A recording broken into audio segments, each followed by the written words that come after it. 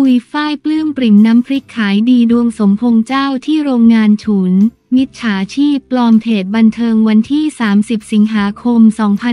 2567 14นาฬิกา 23 นาที ปุยฝ้ายฟุ้งน้ำพริกขายดีเจ้าที่โรงงานดวงสมพงษ์ฉุน มิจฉาชีพปลอมเพจหลอกขายลูกค้ามีผู้เสียหายหลายราย เผยกำลังรวบรวมหลักฐานเตรียมเข้าแจ้งความ ดำเนินคดีสำหรับนักแสดงสาวปุยฝ้ายนัทพัฒน์วิพัทรเดชตระกูลที่ผันตัวเป็นแม่ค้าทำน้ำพริกขาย ลูกค้าให้การตอบรับดีสั่งซื้อกันจำนวนมาก บางวันผลิตไม่ทันของขาดตลาดกันเลยทีเดียว ล่าสุดผู้สื่อข่าวได้เจอกับปุยฝ้ายที่มาร่วมงาน m y r a t Grand Monde 10 TH Anniversary ครบรอบ 10 ปีแบรนด์ห้องเสื้อ ของดีไซเนอร์ชื่อดัง X ธนันพัฒน์และกรวงวริศที่ CDC Crystal Grand Ballroom จากนั้นได้ให้สัมภาษณ์เรื่องธุรกิจน้ำพริก ธุรกิจน้ำพริกเป็นยังไงบ้าง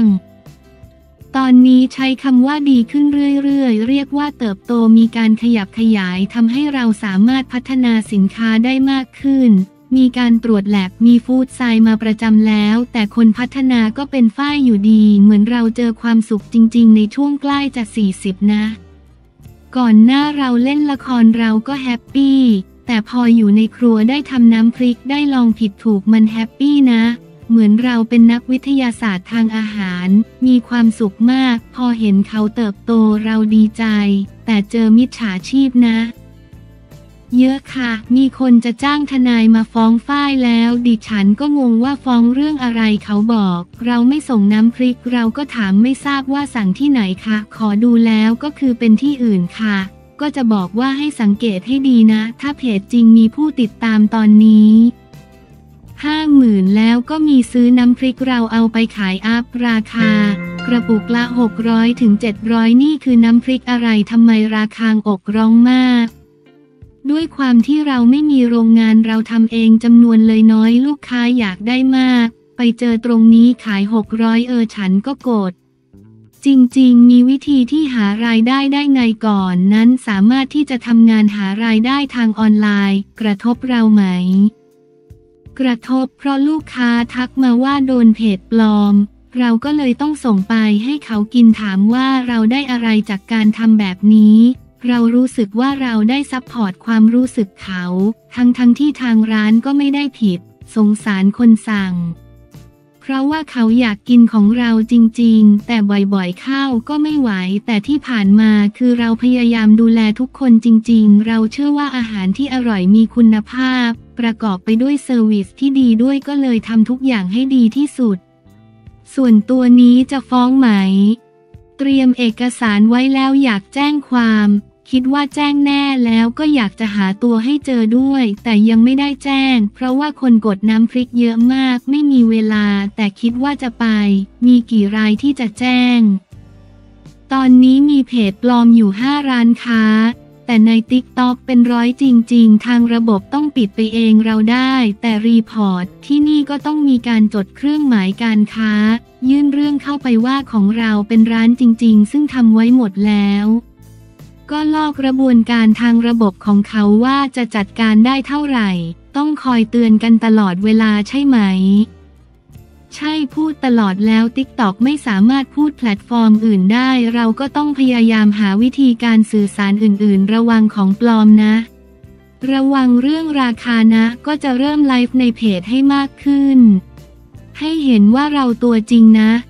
ให้ลูกค้าเห็นว่านี่คือช่องจริง ช่วยเห็นใจด้วยนะคะ วิชาชีพทั้งหลายอย่าให้โมโหเลยนะคะ อีกปัญหาหนึ่งตอนสั่งสั่งที่อื่นได้ ตอนทวงมาทวงกับเรา ใช่ค่ะ ค้าจะหาเพจจริงไม่เจอตอนจะซื้อ แต่จะหาเจอตอนโดนหลอกแล้ว หัวเราะ เพราะว่าโอนเงินเสร็จเขาจะบล็อกแหละ ตอนนั้นแหละ เราต้องมานั่งเจรจาซึ่งแรกๆตกใจมาก แต่ตอนนี้เริ่มรับมือได้ตกใจที่ไม่สามารถดูแลลูกค้าที่ถูกกระทำได้ ตักเตือนเขา คนสั่งเยอะ เราพัฒนาสินค้าอยู่เรื่อยแล้วก็มีการคิดอยู่ว่าจะทำอะไรอีก เรื่องอาหารการกินไม่ว่าเศรษฐกิจจะแย่ยังไง อาหารคือเรายังต้องกินลูกทุกคนชอบกินของอร่อยดีขึ้นมาหน่อยอยากกินของดีแล้ว service mindครบ อยู่ในปุยแสบปากทั้งหมด อร่อยสะอาด คุณภาพดีก็กล้าการันตีว่าเราหมกอยู่กับเขามา 5 ปี ใครทำแล้วหยุดหยุดเราทำเองตั้งแต่กระทะเล็กๆ ทะลุไปหลายใบจนเริ่มเติบโตขึ้นเราดีใจมากและอยากจะพัฒนาต่อไป ใจแล้วอยากให้น้ำพริกปุยแสบปากไปทั่วโลกค่ะ ประเทศลาวกระปุกก็ยังดี หัวเราะ เจ้าทีก็แรง ไหว้แล้วเจ้าที่ส่งเสริมแล้วมีหมอดูบอกว่าเวลาจะไลฟ์ให้แต่งตัวสวยๆ เพราะเจ้าที่สวยมาก ผมบอกสวยแบบประกวด MUT ได้เลย เขาชอบให้สวยๆ วันไหนแต่งตัวสวยๆ จะขายดีมาก ต้องลองดูปกติไม่มีใครเห็นเพราะปกติจะโซมมาก เหตุการณ์ประตูเปิดปิดเอง ไม่แล้วเจรจาแล้ว หัวเราะ ดีลกันแล้วหนูรับทราบแล้วค่ะ อย่างล่าสุดหมอวังอยู่ๆก็เขียนมาลายมาบอกว่าน้ำพริกปลาย่างขมิ้นขาวมะเขือเปราะถั่วภูข้าวสวยไข่ต้มคืออะไร เขาบอกเจ้าที่ขอเขาให้มาถวาย ส่วนใหญ่หมอดูที่สนิทกันส่งมาบอก เราก็ไม่ได้เชื่อ แต่เราแค่ทำตาม หัวเราะ ส่งเสริมกันดีนะ เราเองก็เป็นแม่หมอแล้วเหมือนกัน บางทีก็เดาสุ่มบางทีมีจังหวะโดนบ้างอะไรแบบนี้ ซึ่งเราก็อธิษฐานว่า เรามีบุญที่จะสามารถช่วยเหลือคนได้ ถ้าเขากับเรามีกรรมสัมพันธ์ต่อกัน ถ้าฝ้ายบอกเลขไปแล้วเขาได้ยินแล้วเขาถูก แล้วได้ใช้ชีวิตในทางที่ถูกที่ควรก็ขออุทิศกุศลนี้ให้ทั้งหมดเลย ก็จะได้เลขแต่ก็อย่าบ่อยนะ เพราะอาจจะทำให้เราไม่สบาย ทางที่ดีที่สุดคือการใช้ชีวิตอย่างมีสติทุกคนทำงานด้วยอาชีพสุจริต อย่าไปคาดหวังแต่ตรงนั้นตอนนี้ก็มีแต่คนถามเรื่องน้ำพริกอย่างเดียวโค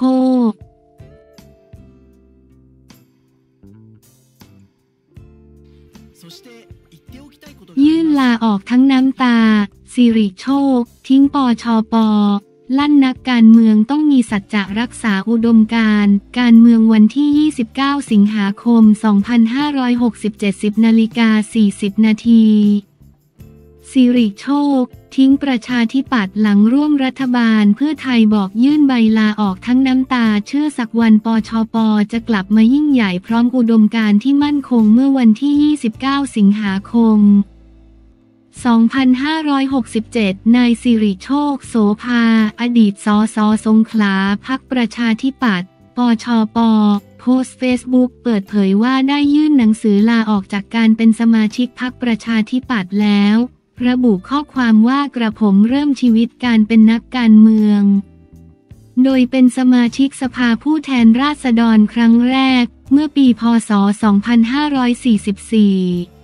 และได้รับการเลือกตั้งต่อเนื่องอีกสี่สมัย แม้ว่าจะเป็นฝ่ายค้านเป็นส่วนใหญ่ก็ตาม แต่ผมก็ภูมิใจที่ได้ทำหน้าที่ในฐานะพักฝ่ายค้านตรวจสอบการทำงานของรัฐบาลและได้มีส่วนร่วมกับทีมประชาธิปัตย์ทุกครั้งที่มีการเปิดอภิปรายไม่ไว้วางใจ ผมยังจำบรรยากาศในสมัยแรกที่ผมเป็นสมาชิกสภาผู้แทนราษฎรที่ต้องลุกขึ้นอภิปรายไม่ไว้วางใจ เป็นเวลากว่าสองชั่วโมงครึ่งกรณีบริษัทโทรคมนาคมแห่งหนึ่งถูกกล่าวหาว่าหลีกเลี่ยงการเสียภาษีศุลกากร จนได้รับการเลือกจากสื่อมวลชนให้เป็นดาวสภา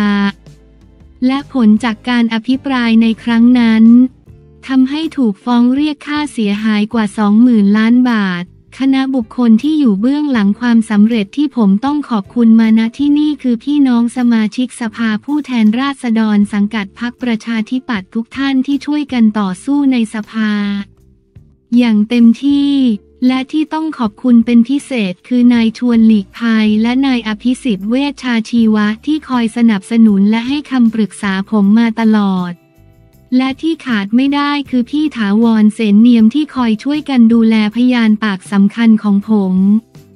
ที่แม้ตอนหลังจะเสียชีวิตก็ตาม ผมไม่เคยที่จะลืมบุญคุณบุคคลคนเหล่านี้ โดยเฉพาะอย่างยิ่งพักประชาธิปัตย์และพี่น้องประชาชนในเขตเลือกตั้งที่ 7 จังหวัดสงขลาที่ให้โอกาสผมในการทำงานเป็นระยะเวลากว่า 10 ปี ผมไม่เคยคิดว่าวันนี้จะมาถึง เพราะตลอดระยะเวลาเกือบ 30 ปีที่ผมเป็นสมาชิกพรรคประชาธิปัตย์ผมคิดเสมอว่าที่นี่คือบ้านเดียวและบ้านหลังสุดท้ายของผม แต่เมื่อพรรคประชาธิปัตย์ในปัจจุบันมีอุดมการณ์ที่ต่างไปจากพรรคประชาธิปัตย์ในอดีตเป็นอย่างมาก ผมจึงมีความจำใจต้องเดินจากไป แม้จะมีความอาลัยอาวรณ์ต่อพักมากก็ตาม เพราะผมเชื่อเสมอว่านักการเมืองต้องมีสัจวาจาและอุดมการที่ต้องรักษา หากปราศจากทั้งสองสิ่งนี้ก็เป็นได้แค่นักเลือกตั้ง คืนนี้ทั้งคืนเป็นคืนที่ผมนอนไม่หลับ เพราะเช้านี้แล้วที่ผมจำต้องยื่นหนังสือลาออกจากพัก ที่ผมรักและเทิดทูนที่สุดทั้งน้ำตา แต่ผมก็ยังหวัง แม้จะเป็นความหวังอันน้อยๆว่า สักวันพักประชาธิปัตย์จะกลับมายิ่งใหญ่อีกครั้ง พร้อมกับอุดมการที่มั่นคง และเป็นที่พึ่งที่หวังของประชาชนได้แล้ว ผมจะเฝ้ารอดูครับ นายสิริโชคระบุชวนกรีดยับ เฉลิมชัยกกบหอใหม่ทำปชป เสียศักดิ์ศรีขู่ใครอยากปลดดูแกมก่อนขันหมากมาแล้ว เพื่อไทยส่งเทียบเชิญปชปร่วมรัฐบาลชี้มีอุดมการทำงานร่วมกันได้ มติกกบหอเพื่อไทยไม่เอาพอปชรจ่อส่งเทียบเชิญ กลุ่มธรรมนัตปชป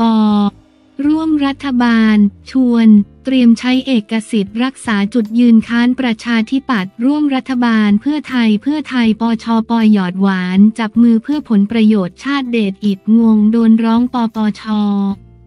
เดียเดือดซัดผู้บริหารปชป 9 ข้ามหัวประชาชนทำลายพักหวังแค่ขึ้นสู่อำนาจ